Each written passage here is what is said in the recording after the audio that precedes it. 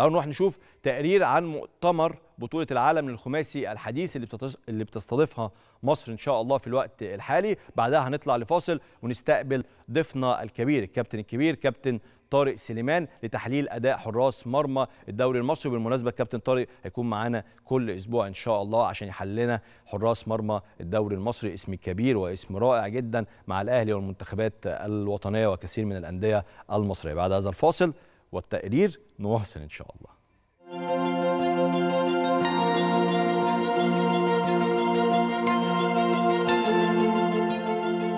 مبروك لمصر طبعا بطولة جديدة بتضاف إلى رصيد مصر بطولة عالم للكبار.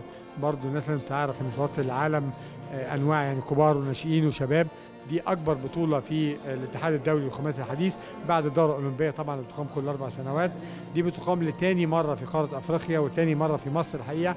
اقيمت قبل كده في 2017 في القاهرة ودلوقتي 2022 في الإسكندرية.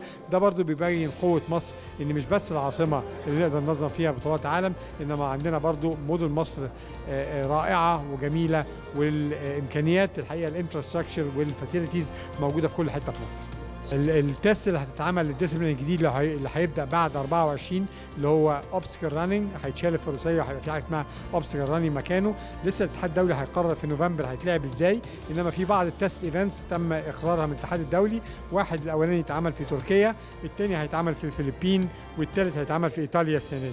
فما فيش حاجة في مصر الحقيقة هتتعمل السنة دي إنما بعد إقراره في نوفمبر إن شاء الله هنبدأ فورا في يعني تركيب كورس ليه هنا في مصر خلاص في مقر هيئة استاد القاهرة عشان ولادنا يبدأوا يتمرنوا عليه من دلوقتي على طول. طبعا الحمد لله إحنا محظوظين ان إحنا عندنا نخبة من أقوى المدربين في الألعاب الفردية اللي هي بتكون في الآخر لعبة الخماسي طبعا أنا اكون محظوظ جدا لما أكون شغال وسط الناس دي بيخلوا المهمة سهلة جدا. يعني مش عايز أقول ان مش عايز أقول أنا أقلهم يعني. هم ناس في منتهى الروعة. الاستعدادات كانت كويسة جدا. اشتغلنا معسكرات داخلية اشتغلنا معسكر في تركيا قبل نهائي كأس العالم. آه عملنا احتكاكات آه شارك معانا لعيبة السلاح لعبة السلاح من أكتر لعب الأكثر قيمة. اللعيبة جاهزة بشكل كويس. آه الحمد لله أحمد الجندي آه قدر كالعادة يعني يبهرنا بالتزامه.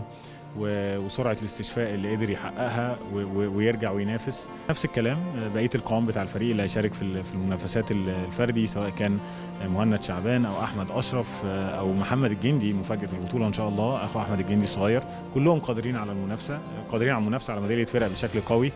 البنات نفس الكلام سواء هايدي مرسي أو أميرة أنديل أو سلمى أيمن.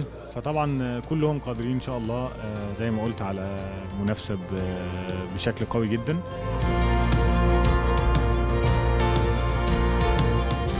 قوانين دلوقتي يعني بقت maximum زي 90 دقيقة زي ماتش كورة.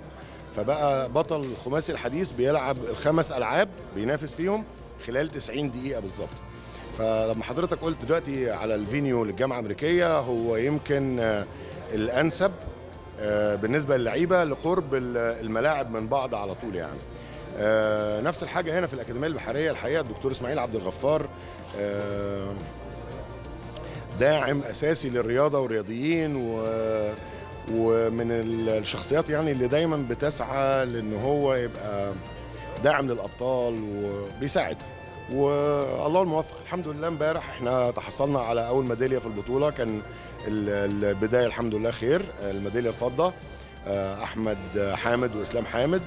النهارده البنات ماشيين كويس. الحمد لله. هايدي وأميرة أنديل واخدين أول سلاح وإن شاء الله البقية تأتي. ومع نهاية البطولة إن شاء الله لينا لقاء تاني عشان نقول بقى إن ال ال ال الاتحاد المصري الخماسي الحديث on track سعيد لإقامة البطولة في الأكاديمية العربية والمؤتمر الصحفي أو إشارة البدء للبطولة. دي هو كان سعيد بتواجده مع العديد من الأشخاص أو الحضور اللي تكلموا عن استضافة البطولة وإقامة البطولة في الإسكندرية.